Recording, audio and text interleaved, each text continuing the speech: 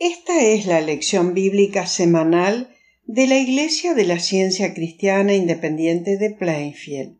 Esta lección es para su estudio durante la semana que finaliza el día domingo primero de marzo de 2020. Tema Cristo Jesús. Texto de oro Juan. Yo, la luz, he venido al mundo para que todo aquel que cree en mí no permanezca en tinieblas. Cristo Jesús. Lectura alternada Juan.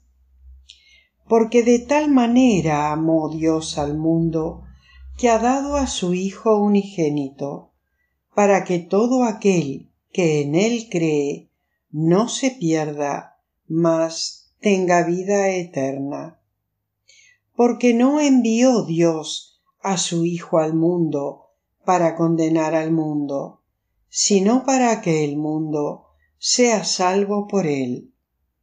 El que en él cree no es condenado, pero el que no cree ya ha sido condenado, porque no ha creído en el nombre del unigénito Hijo de Dios.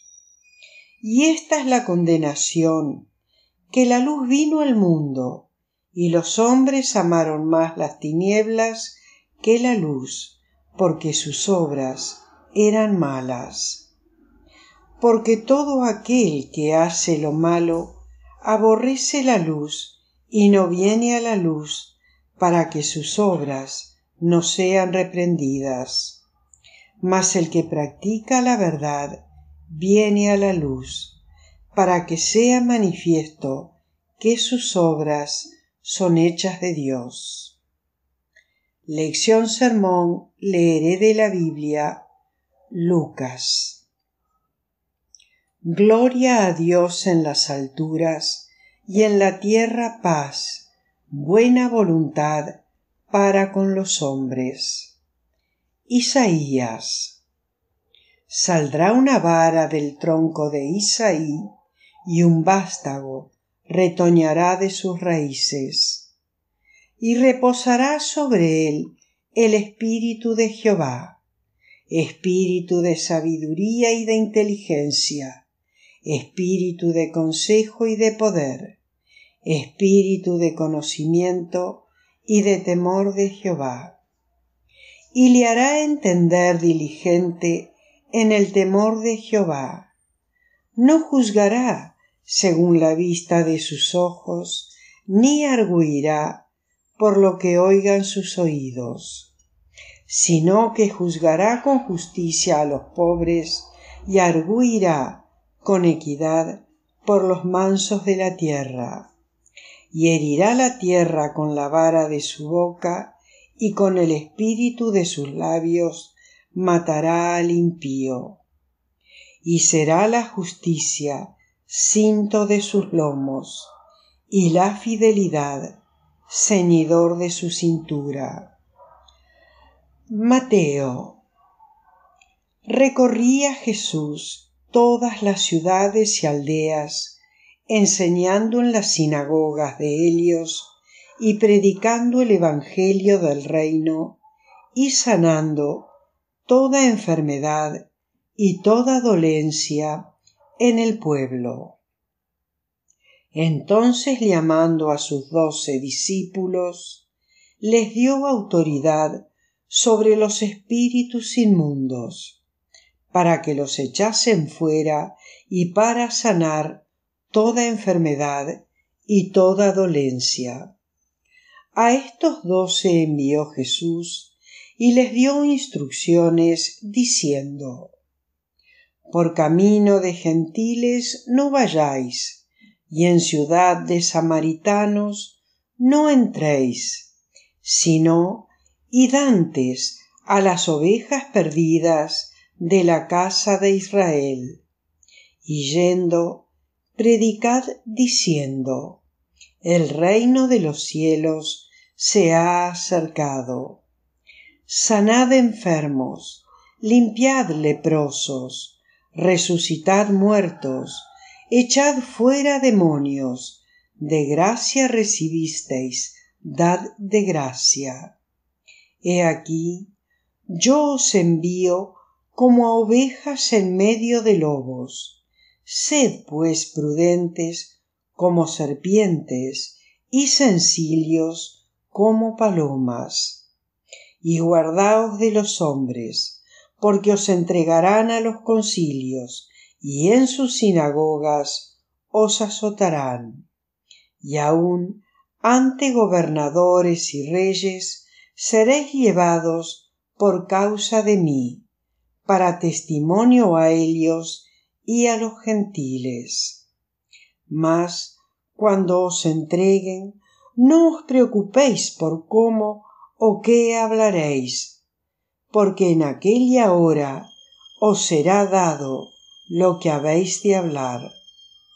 Porque no sois vosotros los que habláis, sino el Espíritu de vuestro Padre que habla en vosotros. No penséis que he venido para traer paz a la tierra.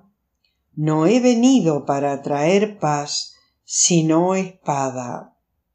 Porque he venido para poner en disensión al hombre contra su padre, a la hija contra su madre y a la nuera contra su suegra. Y los enemigos del hombre serán los de su casa. El que ama a padre o madre más que a mí, no es digno de mí. El que ama a hijo o a hija más que a mí, no es digno de mí. Y el que no toma su cruz y sigue en pos de mí, no es digno de mí. El que halla su vida, la perderá, y el que pierde su vida por causa de mí, la hallará. Y al oír Juan en la cárcel los hechos de Cristo, le envió dos de sus discípulos para preguntarle, ¿Eres tú aquel que había de venir o esperaremos a otro? Respondiendo Jesús, les dijo, Id y haced saber a Juan las cosas que oís y veis. Los ciegos ven, los cojos andan, los leprosos son limpiados, los sordos oyen, los muertos son resucitados, y a los pobres es anunciado el Evangelio. Y bienaventurado es el que no halle tropiezo en mí. Venid a mí, todos los que estáis trabajados y cargados, y yo os haré descansar.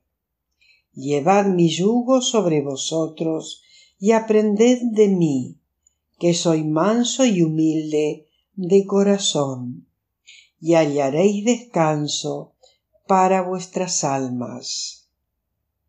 Y salidos los fariseos, tuvieron consejo contra Jesús para destruirle. Sabiendo esto Jesús se apartó de allí y le siguió mucha gente y sanaba a todos. Y entró Jesús en el templo de Dios y echó fuera a todos los que vendían y compraban en el templo, y volcó las mesas de los cambistas y las sillas de los que vendían palomas. Y les dijo, Escrito está, mi casa, casa de oración, será llamada, mas vosotros la habéis hecho cueva de ladrones. Y vinieron a él en el templo ciegos y cojos, y los sanó. Pero los principales sacerdotes y los escribas, viendo las maravillas que hacía y a los muchachos aclamando en el templo y diciendo Hosana al Hijo de David, se indignaron. Y le dijeron ¿Oyes lo que éstos dicen? Y Jesús les dijo, sí, ¿nunca leísteis de la boca de los niños y de los que maman, perfeccionaste la alabanza? Jesús les dijo, de cierto os digo, que los publicanos y las rameras van delante de vosotros en el reino de Dios. Juan la paz os dejo, mi paz os doy. Yo no os la doy como el mundo la da.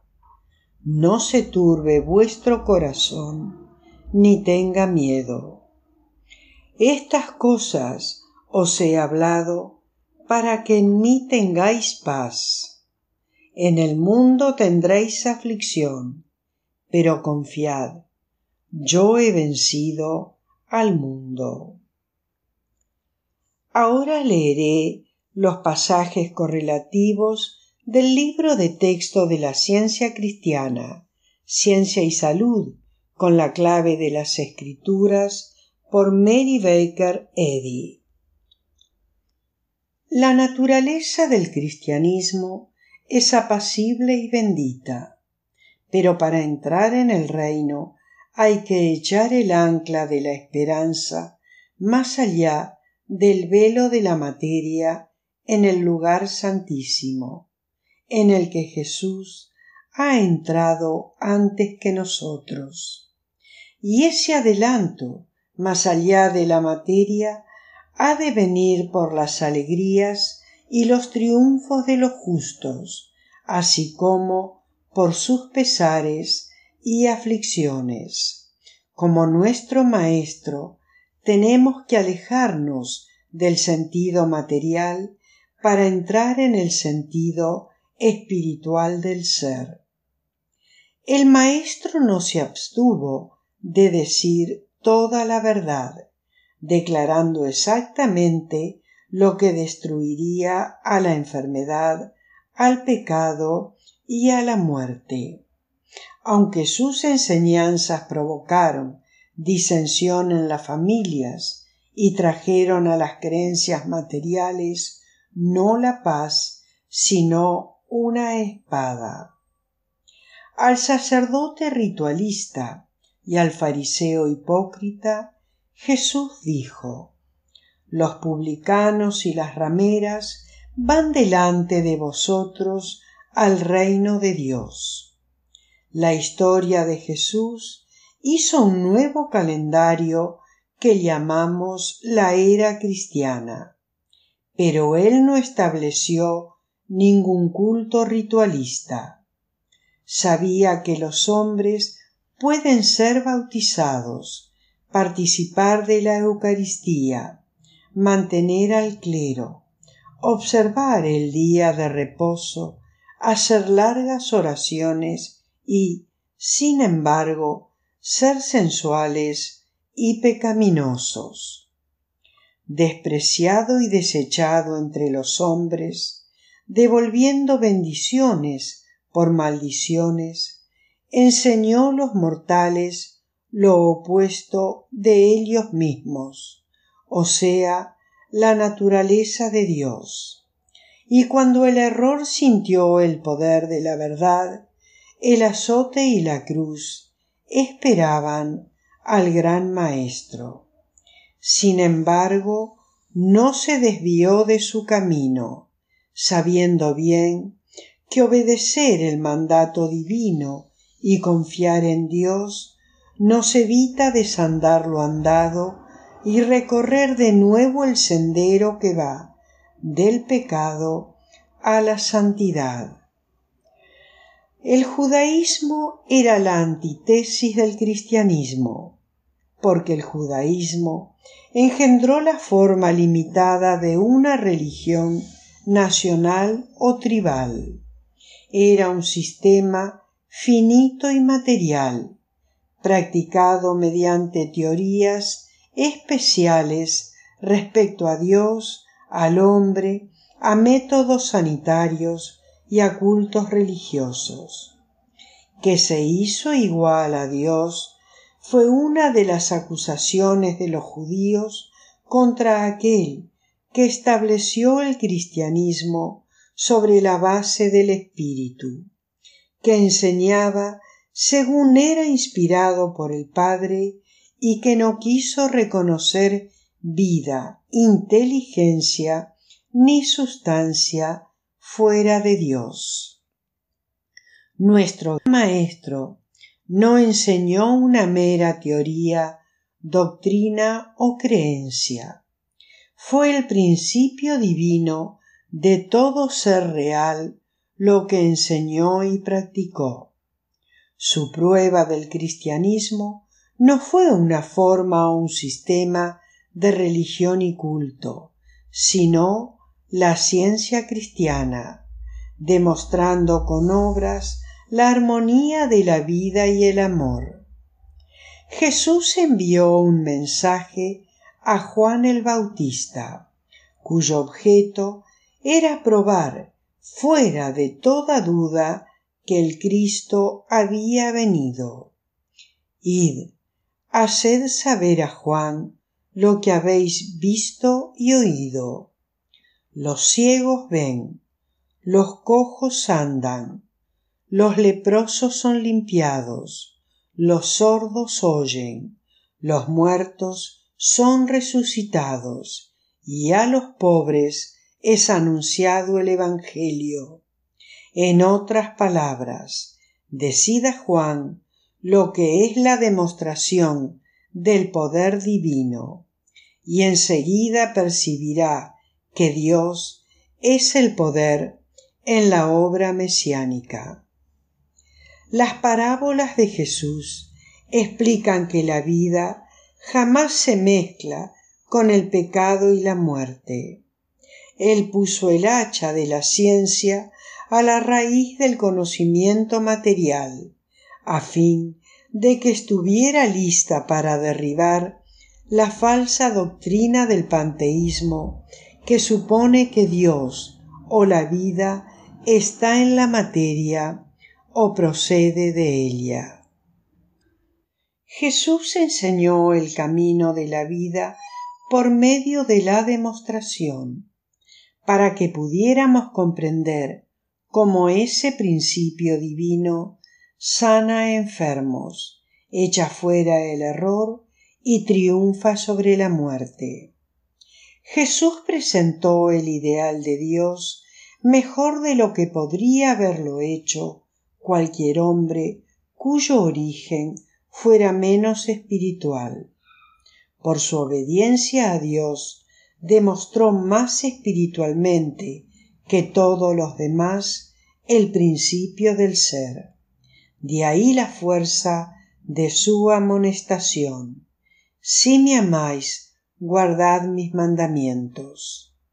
Ni el origen, ni el carácter, ni la obra de Jesús fueron generalmente comprendidos, ni una sola parte constitutiva de su naturaleza fue juzgada con acierto por el mundo material, ni siquiera su justicia y pureza impidieron que los hombres dijeran es un comilón y amigo de los impuros, y Belcebú es su patrón. Recuerda, tú, mártir cristiano, que es suficiente con que se te juzgue digno de desatar las correas de las sandalias de tu maestro. Suponer que la persecución por causa de la justicia pertenece al pasado y que hoy el cristianismo está en paz con el mundo porque es venerado por sectas y sociedades, es equivocar la naturaleza misma de la religión. El error se repite. Las pruebas sufridas por profetas, discípulos y apóstoles, de los cuales el mundo no era digno, esperan en alguna forma a todo explorador de la verdad. Hay demasiado valor animal en el mundo y no suficiente valor moral. Los cristianos tienen que tomar las armas contra el error en casa y fuera de ella. Tienen que combatir el pecado en sí mismos y en los demás, y continuar esta milicia hasta que hayan acabado su carrera. Si guardan la fe, tendrán la corona de regocijo. Los dolores de los sentidos son saludables si desarraigan las falsas creencias placenteras y trasplantan los afectos, llevándolos de los sentidos al alma, donde las creaciones de Dios son buenas y alegran el corazón. Tal es la espada de la ciencia, con la cual la verdad decapita al error, de modo que la materialidad se da lugar a la individualidad y al destino superiores del hombre. Si deseamos seguir a Cristo, la verdad, debemos hacerlo en la forma señalada por Dios. Jesús dijo, El que en mí cree, las obras que yo hago, él las hará también debemos abandonar la base de sistemas materiales por muy venerables que sean si queremos tener al Cristo por nuestro único Salvador. El gran sanador de la mente mortal es el sanador del cuerpo, y eso no parcial, sino íntegramente. El propósito y el motivo de vivir rectamente pueden lograrse ahora. Una vez logrado ese punto, habréis comenzado como debíais. Habéis comenzado por la tabla de sumar de la ciencia cristiana, y nada, salvo una mala intención, puede impedir vuestro progreso. Si trabajáis y oráis con móviles sinceros, vuestro Padre os abrirá el camino. ¿Quién os estorbó para no obedecer a la verdad? Los tres deberes diarios por Mary Baker Eddy. La oración diaria. Será deber de cada miembro de la Iglesia orar diariamente. Venga tu reino. Haz que el reino de la verdad, la vida y el amor divinos se establezcan en mí, y quita de mí todo pecado, y que tu palabra fecunde los afectos de toda la humanidad y la gobierne. Una regla para móviles y actos. Ni la animosidad, ni el mero afecto personal deben impulsar los móviles o actos de los miembros de la Iglesia Madre. En la ciencia, sólo el amor divino gobierna al hombre, y el científico cristiano refleja la dulce amenidad del amor al reprender el pecado, al expresar verdadera confraternidad, caridad y perdón. Los miembros de esta Iglesia deben velar y orar diariamente para ser liberados de todo mal, de profetizar, juzgar, condenar, aconsejar, influir o ser influidos erróneamente. Alerta al deber. Será deber de todo miembro de esta Iglesia defenderse a diario de toda sugestión mental agresiva y no dejarse inducir a olvido o negligencia en cuanto a su deber para con Dios, para con su guía y para con la humanidad. Por sus obras será juzgado y justificado o condenado. Prestar atención. Para los científicos cristianos Ver Ciencia y Salud, página 442, renglón 30, y prestarle atención diaria a Helio.